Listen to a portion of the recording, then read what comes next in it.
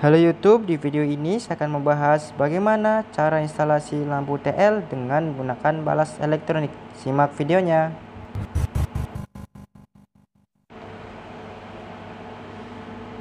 Oke, untuk simulasi ini saya membutuhkan box lampu TL berwarna putih. Selanjutnya saya membutuhkan lampu TL-nya merek Philips dengan kapasitas watt 36 watt.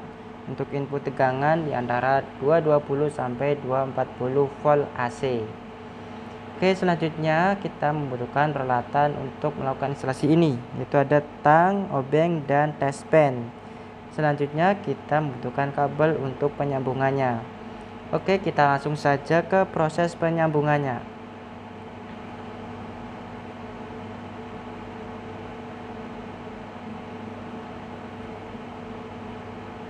Oke yang pertama yaitu kita harus buka dulu cover dari box lampu TL nya gunakan obeng plus untuk melepas baut yang ada.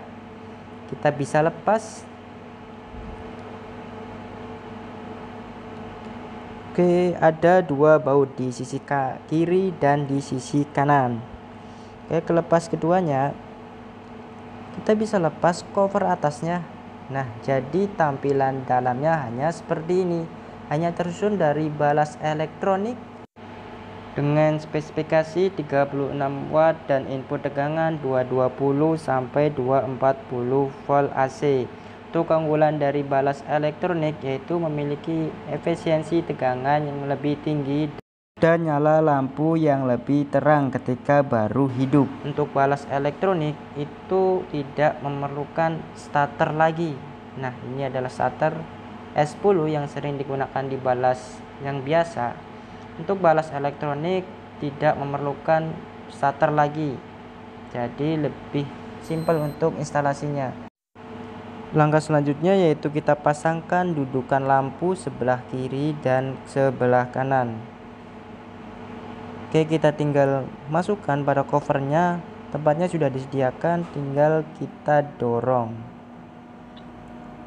Oke, ini adalah dudukan lampu yang sebelah kanan.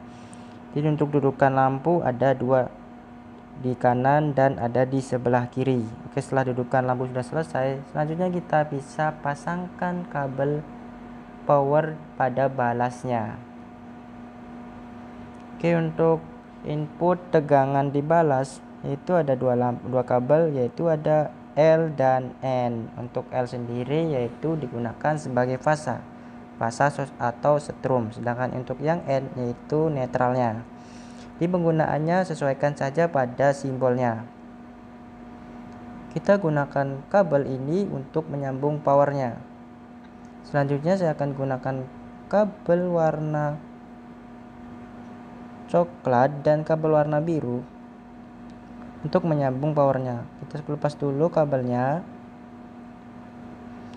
setelah itu kita bisa potong jangan terlalu panjang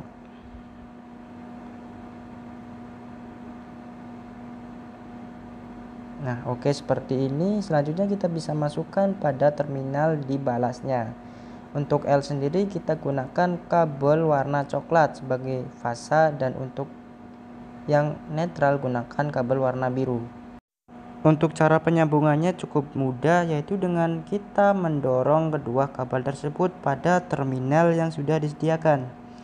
Dorong agak ke dalam dan pastikan kabel tidak terlepas. Oke, setelah keduanya sudah ter tersambung, lalu kita bisa luruskan kabelnya dan kita bisa keluarkan dari samping covernya. Di situ sudah sedia disediakan tempat untuk mengeluarkan kabelnya.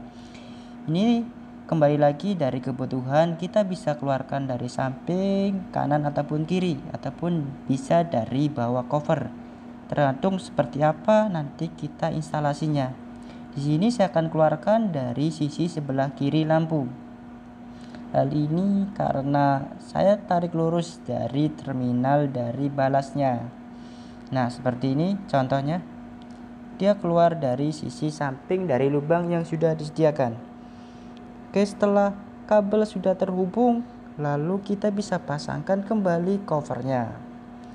cara pemasangannya cukup mudah kita tinggal pasangkan baut yang tersedia di situ ada dua baut dan kita bisa kencangkan kencangkan keduanya baik sisi kanan ataupun sisi kiri penggunaan cover yaitu untuk melindungi balas elektronik agar terhindar dari debu pastikan cover dipasang kembali ya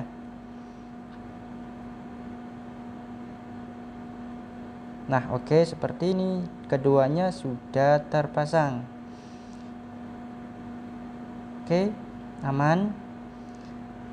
Selanjutnya kita bisa koneksikan kabel ini dengan power utama. Yang untuk kabel warna coklat sebagai setrum dan biru sebagai netral. Kita kelupas saja terlebih dahulu kabelnya agar mempermudah pada saat penyambungan dengan power utama.